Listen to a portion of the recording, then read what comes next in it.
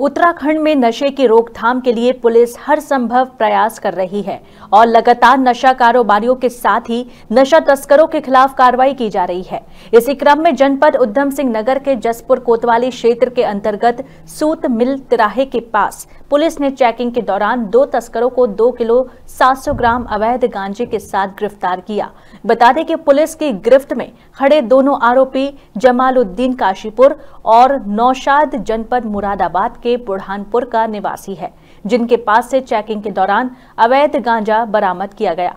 वहीं कोतवाल आशुतोष कुमार सिंह ने बताया कि उच्च अधिकारियों के आदेशों के बाद नशे के विरुद्ध अभियान चलाया जा रहा है, जिसके तहत पुलिस द्वारा दो नशा तस्करों को गिरफ़्तार कर उनके खिलाफ एनडीपीएस एक्ट के तहत मुकदमा दर्ज किया गया।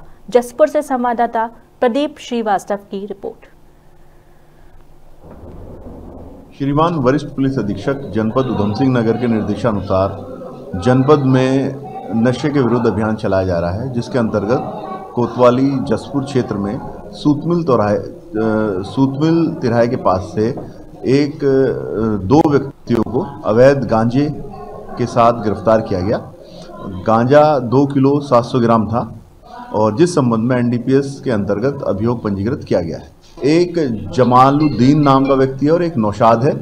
जो नौशाद है, वो बुढ़ानपुर गाँव, भगतपुर मुरादाबाद क्षेत्र का रहने वाला है। और दूसरा नौशाद व्यक्ति है, वो आईटीआई थाना क्षेत्र अंतर्गत निर्जा फार्म का रहने वाला है।